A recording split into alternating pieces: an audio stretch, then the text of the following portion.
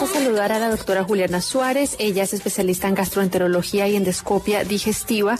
Además, también especialista en cirugía general. Es miembro de la Asociación Colombiana de Gastroenterología y de la Asociación Colombiana de Endoscopía Digestiva. Ella actualmente vive en Cali, pero ustedes la pueden seguir en las redes sociales como la doctora del Popó, pero es arroba doctora Suárez Gastro. Ella siempre está poniendo un contenido espectacular sobre salud digestiva. Doctora Juliana, muy buenas tardes. Hola, Caro, ¿cómo estás? Saludo a todos los oyentes, a Cami, a Cami, ¿cierto? Compañera Cami. Cami. ¿Cómo han estado? ¿Cómo les ha ido? Pues muy bien, doctora Juliana, gracias por estar con nosotros nuevamente. Vemos sus videos, son muy ilustrativos y hoy queremos hablar de la celiaquía y yo quisiera que usted nos explique porque mucha gente conoce esto de la celiaquía como la dieta gluten free, pero hablemos de qué es ser celíaco. Sí, con, respecto a que este mes se celebra el 5 de mayo, el, el, Día Mundial de la Enfermedad. Esta es una enfermedad donde el sistema de defensa de las personas afectadas eh, se equivoca y en la presencia del gluten eh, genera una inflamación descontrolada sobre el intestino que puede incluso afectar otros, otros órganos. El gluten es una proteína que está presente en el trigo, el centeno, la cebada y la avena por contaminación cruzada. Entonces, los individuos que están afectados por esta enfermedad, lo que hay que entender además es que es una enfermedad de base genética. Eh, claro, hay que tener una predisposición genética para que se presente y se desarrolle, pues eh, al tener contacto con productos, por ejemplo, de panadería, de pastelería, eh, sopas de sobre, por ejemplo, espagueti, pasta, pizza, pasteles, van a tener una cantidad de síntomas que no, no digamos son síntomas leves, diarreas muy fuertes, cuadros de dolor abdominal, puede haber incluso sensación de debilidad, mareo, sueño. Eh, son síntomas que yo siempre digo que son fuera de lo, de lo normal y pueden llegar a ser muy dramáticos cuando entran en contacto con eh, cualquier alimento que pueda eh, contener gluten o estar contaminado de forma inadvertida con gluten. Claro, doctora, ¿cuáles son esos síntomas? ¿Cómo saber si yo soy alérgica al gluten? La alergia es otra cosa. Ya entraríamos como a hablar eh, de, tres, de tres enfermedades relacionadas con gluten. Alérgico eh, al gluten es una enfermedad que es otra enfermedad. Esta es, esta es una respuesta mediada por anticuerpos. Se ve mucho en personas que trabajan panadería, digamos, con gluten. Y es incluso al contacto eh, con, con em, harina partículas, exacto, con partículas que están en el ambiente donde se está cocinando, hay una respuesta inmediata, los ojos se hinchan, eh, empieza a haber goteo nasal y se puede obstruir la o sea, se puede obstruir la vía aérea, la persona no puede respirar y puede una ser una situación que amenace la vida. Esa es otra enfermedad no es frecuente realmente. Está la celiaquía, que es una enfermedad de predisposición genética y es de la que estamos hablando, pero es imposible no hablar de todos los trastornos relacionados con gluten cuando uno habla de, de, celiaquía. es difícil sospecharla, lastimosamente en nuestro país existe todavía la creencia de que no existe y es sí existe, lo que pasa es que no tenemos registros eh, poblacionales, no, no, no se estudia, digamos, mucho, pero en quienes se tiene que sospechar, en individuos que sienten que tienen reacciones a nivel digestivo cuando consumen alimentos de panadería, de pastelería y tienden a hacer reacciones muy fuertes de diarrea, de dolor abdominal, estreñimiento, distensión abdominal y puede ir acompañado de síntomas extradigestivos, pérdida de peso, anemia, osteoporosis, cambios a nivel del esmalte dental. En las mujeres puede verse aborto frecuente, dificultad para quedar en embarazo, en los hombres también. Pueden haber otras enfermedades autoinmunes, entonces la persona puede eh, tener también una diabetes tipo 1, eh, tener lupus, eh, artritis reumatoidea, ¿sí? Hay que sospecharla y lo primero que hay que hacer si uno la sospecha es hacer pruebas para confirmarla sin suspender el gluten. El primer error que cometen las personas en nuestro país es que cuando creen que el gluten o algo de panadería les está cayendo mal, lo suspenden y ahí perdimos la oportunidad de hacer diagnóstico. Mire, voy a aprovechar a hablar de eso porque ahora hoy en día uno va a los supermercados y ve mucho producto que dice gluten free Entonces resulta que algunas personas creen que es que hay una dieta que se llama la dieta gluten free. Pero doctora, yo quisiera que hablemos un poquito de estos productos porque en mi experiencia, y usted me corregirá, cuando uno ve estos productos que dicen gluten free, pues al quitarles el gluten les ponen una cantidad de otros productos y hasta le ponen mucho más sodio, más ingredientes como para inflar dicho producto. Cuéntenos un poquito sobre estos productos, ¿son buenos o no? ¿Y en qué consiste esto del gluten free?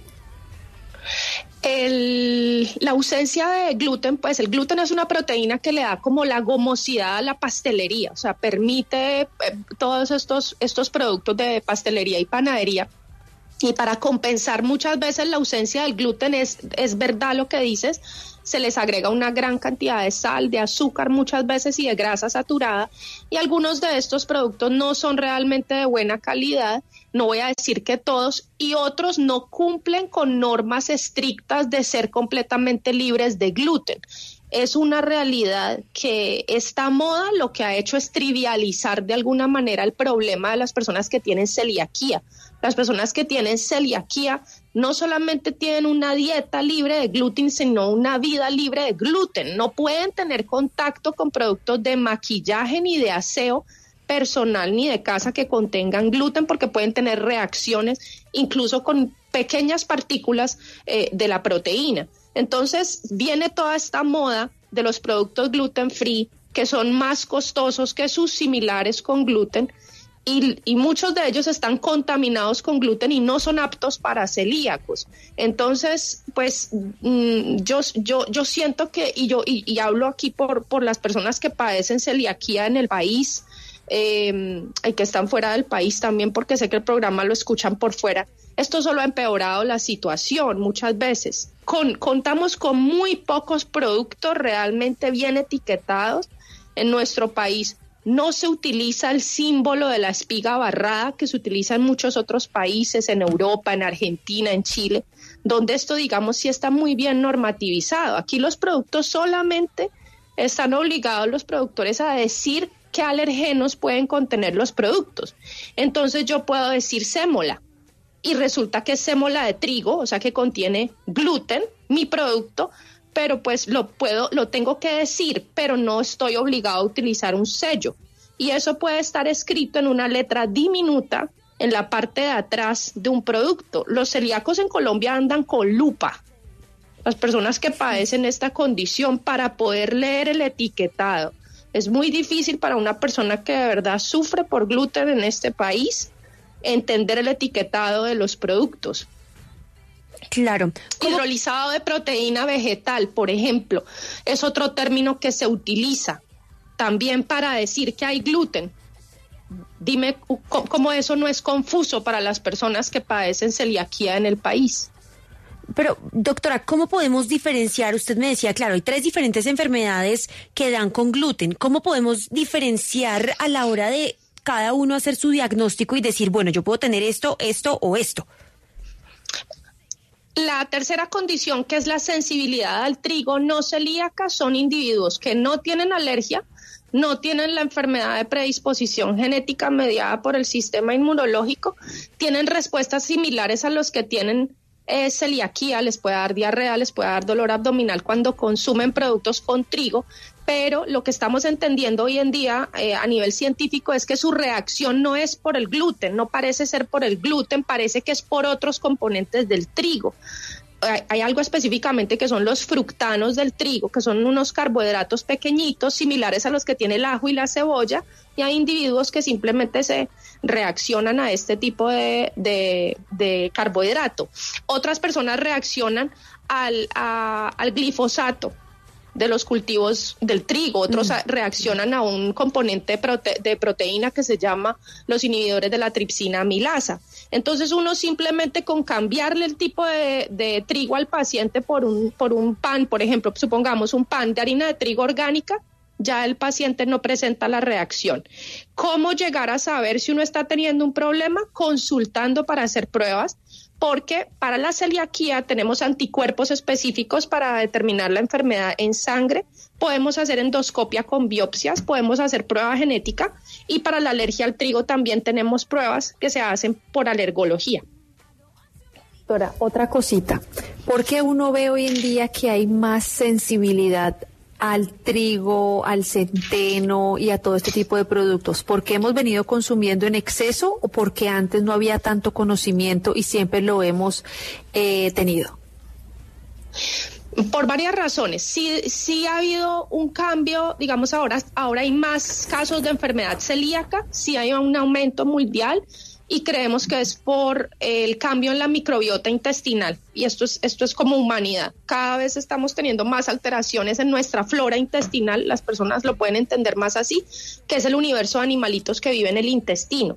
Entonces, ¿eso a qué se debe? Pues a la comida ultraprocesada, que no consumimos suficiente fibra, vivimos en una vida moderna de cuatro paredes, acelerada, estrés, no dormimos bien, ¿sí? Entonces, eso hace que este tipo de enfermedades que son multifactoriales se puedan presentar con más facilidad. Lo otro, y es innegable, es la industrialización que se ha venido dando de los productos y, de, y, de, y del trigo, por ejemplo. ¿sí? El trigo que se consume ahora, algunos tipos de trigo, pues son genéticamente modificados y pueden haber respuestas. Entonces, es como una serie de, de, factores que se juntan. Y en síndrome de intestino irritable, solo por citar un ejemplo, pues las personas dicen me cae mal el, pan, pero también les cae mal el ajo, la cebolla. Entonces, digamos que se está consultando más también, que es lo que tú decías ahora. Digamos, hay más sensibilidad de consultar, de mirar. Y como es un tema que ha, que ha, que ha tomado los medios de comunicación, pues la gente piensa siempre, ¿será que es el gluten lo que me está cayendo mal? Y el primer error, vuelvo y repito, es suspender el gluten, que además no lo mm. suspenden bien, porque cuando uno va a hacer una dieta de verdad, libre de gluten, una vida libre de gluten, eso es una decisión trascendental, o sea, quitarle el gluten a una persona, para mí, cuando lo tengo que hacer, me tengo que sentar, la persona tiene que recibir ayuda psicológica, vamos con una nutricionista especialista en dieta libre de gluten, porque no solamente es quitarlo de la alimentación, sino de la vida del paciente y además muchas veces la familia tiene que sacarlo también porque es muy difícil tener productos con gluten en casa y tener un paciente que no puede comer gluten. Va a haber contaminación cruzada, es decir, va a haber un momento en que la comida del paciente que debe evitar el gluten va a entrar en contacto con la proteína y va a tener síntomas. Doctora, usted decía algo que, que me tiene ahora pensando y es que es una enfermedad que es genética, que se hereda, y entonces, ¿cómo hacer con los niños? Porque pues si hay algo difícil es controlar que un niño no quiera comer algo que tiene gluten y entonces en una fiesta las tortas y los dulces y, y, cómo hacen cómo hacer con los papás o qué decirle a los papás que tienen que empezar a manejar este tipo de situaciones. No es heredable 100%, podemos heredar los genes, pero no siempre se va a desarrollar, es de predisposición predisposición genética, pero ya ves que a veces en niños es más fácil de controlar porque las mamás están muy pendientes, le avisan a las otras mamás, cada vez hay más sensibilidad. En, en, las actividades, por ejemplo, del colegio ya preguntan, ¿hay alguna sensibilidad? En los restaurantes muchas veces ya los meseros preguntan, ¿alguien es alérgico o sensible a algo? Entonces, digamos que se está creando esta cultura de entender que, hay personas que pueden tener restricciones alimentarias diferentes. El problema viene es en la adolescencia, si tú me lo preguntas a mí, porque mm. muchas veces entonces empieza la presión de grupo porque no pruebas un poquito, pero no seas tan complicado, un poquito no te va a enfermar y un poquito sí enferma. A una persona que tiene esta enfermedad de predisposición genética, un poquito sí puede significar una hospitalización. Acá le preguntan por el chat de los oyentes. Doctora, la esofagit, para por la esofagitis me retiraron el gluten. ¿Eso ayudaría a la enfermedad? Hoy, hoy en día no, no tenemos una posición dentro de las sociedades científicas de gastroenterología de retirarle a todas las personas con enfermedad digestiva el gluten. Entonces, digamos que no entiendo bien el, el contexto en el que se le retiró no puedo criticar la decisión sin conocer el caso, pero simplemente por tener esofagitis no es razón para hacer una dieta libre de gluten. Doctora, ¿podemos hablar de una cura? La, ahorita mismo la celiaquía es una enfermedad que está en investigación. En 10 años podemos tener una, una, un medicamento de pronto que ayude en la digestión de, de, de estas proteínas sin que ocurra una inflamación cuando llega al intestino en este tipo de pacientes, pero en este momento, a 2024, es una enfermedad que se entiende que es crónica y que su manejo es únicamente la dieta libre de gluten, la vida sin gluten. Eh, estrictamente hablando. O sea, esto no es una persona que va al supermercado y compra todo lo que encuentra libre de gluten. De hecho, los celíacos preparan todos sus productos de pastelería y panadería en casa. No se exponen porque como no hay una normatividad estricta en nuestro país, en el supermercado ahora mismo la mayoría de productos que se venden libres de gluten están contaminados. Los restaurantes no tienen una oferta de carta libre de gluten porque no tienen dentro del mismo restaurante un laboratorio completamente libre de gluten. Entonces, eh, es una condición compleja, eh, crónica, eh, a la cual le tenemos que tener entendimiento, hay que sensibilizar a la población y hay que tener empatía por estas personas. No podría haber contaminación cruzada. Y mire lo que nos pregunta otro oyente. Entonces, ¿qué examen hay que realizar para saber si el gluten me afecta en un caso, por ejemplo, de artritis reumatoide?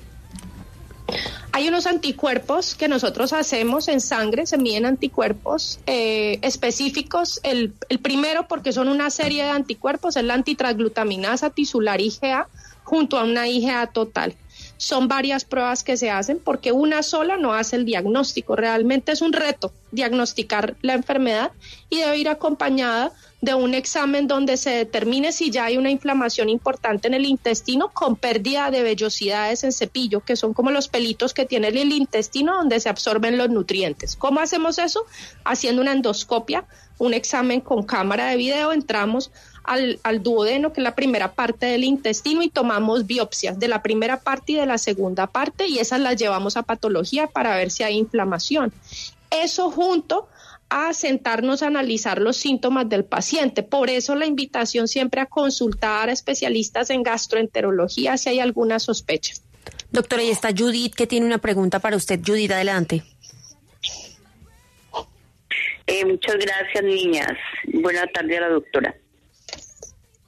Gracias. Eh, cuando, cuando se dice de que un alimento así como están hablando ahorita del gluten o que usted habló sobre el ajo, la cebolla, eh, es porque también ahí puede ir de que está, está el estómago falto de ácido clorhídrico y no está en, en equilibrio con la flora intestinal.